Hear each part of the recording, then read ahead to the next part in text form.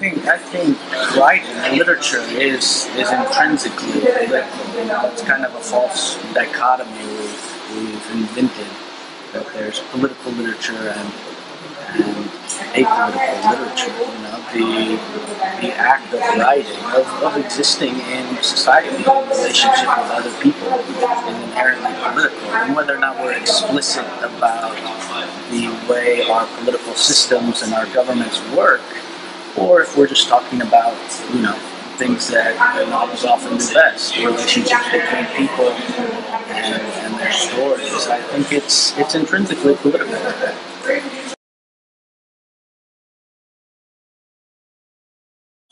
read as much as possible. I know in a lot of places, I've actually spent a lot of time in East Central Africa, and where libraries are readily available, I think the, the internet's become a great tool for the aspiring writer.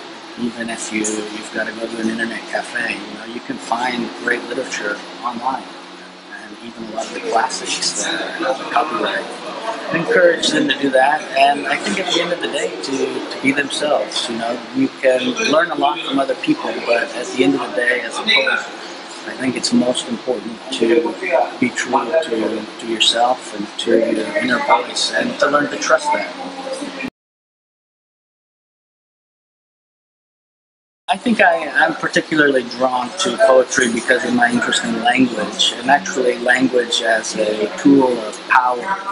And, you know, whatever that means, whether it's, it's my writing a love poem to my wife, which is a very sweet, uh, I hope, mutually equitable relationship, or if I'm, you know, writing about a kidnapper in Mexico City, you know, who, who is speaking across class and economic boundaries and um, trying to use language to convey that struggle, you know?